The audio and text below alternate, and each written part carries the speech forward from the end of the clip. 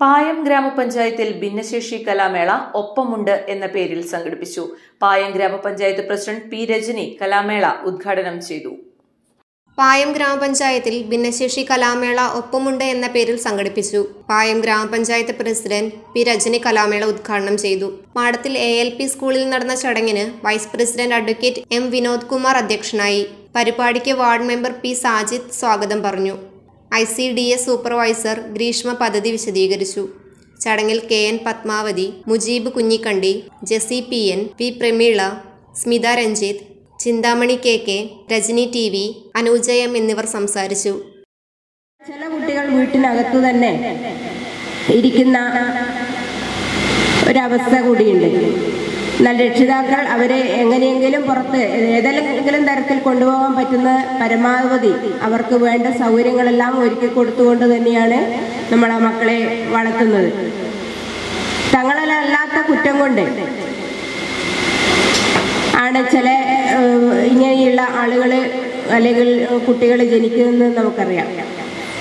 നമ്മുടെ പഞ്ചായത്തിൽ തന്നെ അറുപത്തിയാറ് കുട്ടികളാണ് ഈ ഒരു ഭിന്നശേഷി വിഭാഗത്തിൽ പെട്ടതായിട്ടുള്ളത്.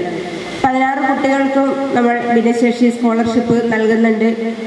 വിദ്യാഭ്യാസം കൊടുക്കാൻ അത്തരം സ്കൂളുകൾ ഉള്ള അവിടെ രക്ഷിതാക്കൾ കൊണ്ടുപോയി അവർക്കുള്ള വിദ്യാഭ്യാസം കൊടുക്കുന്നുണ്ട്. എല്ലാ അവർക്ക് വേണ്ട ഉപകരണങ്ങൾ കൊടുക്കുന്നുണ്ട്. നമുക്കറിയാം വീൽ ചെയർ പോലെയുള്ള ഉപകരണങ്ങൾ. സ്വന്തമായി നടക്കാൻ പറ്റാത്ത കുട്ടികൾക്ക് വീൽ ചെയർ പോലെയുള്ള ഉപകരണങ്ങൾ കൊടുക്കുന്നുണ്ട്. അതുപോലെ നമുക്കറിയാം ചെവി കേൾക്കാൻ പറ്റാത്ത കുട്ടികൾക്ക് കോക്ലിയർ ഇംപ്ലാന്റ് പദ്ധതിയിൽ ഉൾപ്പെടുത്തി അത് വിതരണം നമ്മൾ ചെയ്യുന്നുണ്ട്.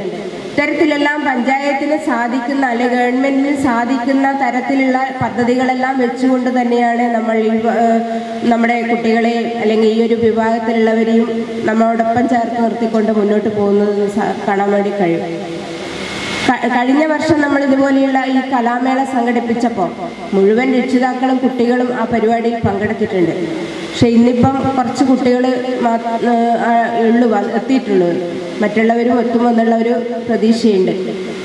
നല്ല വളരെ സന്തോഷത്തോടു കൂടി ആണ് ആ കുട്ടികളെല്ലാം പരിപാടിയിൽ പങ്കെടുക്കുകയും അതുപോലെ രക്ഷിതാക്കൾ ഉൾപ്പെടെ നമുക്ക് ഇനിയും എല്ലാ വർഷവും ഈ ഒരു പരിപാടി നടത്തണമെന്ന് വളരെ സന്തോഷത്തോടു കൂടിയാണ് പറഞ്ഞിട്ടുള്ളത്.